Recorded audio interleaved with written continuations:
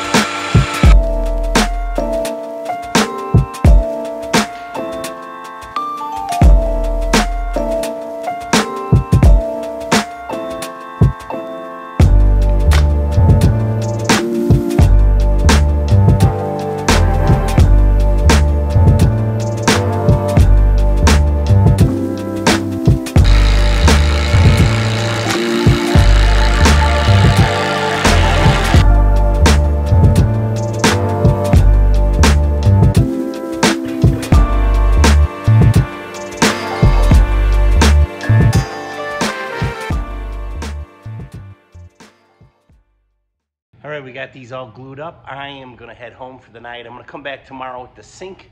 We'll throw these things on the CNC router over there and we'll uh, get the sink routed in, mount it up, and I'll probably bring them home and sand them and finish them.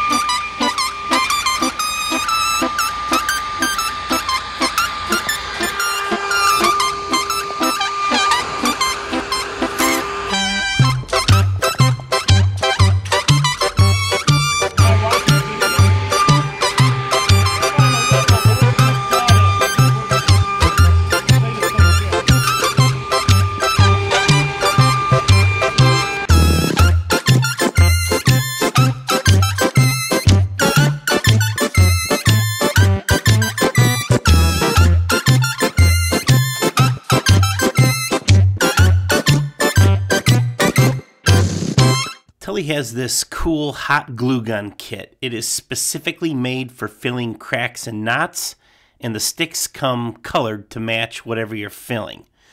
You do have to get it scraped down because I found out the hard way if you leave some or too much on, it makes for a lot of sanding and really gums up the sanding pads.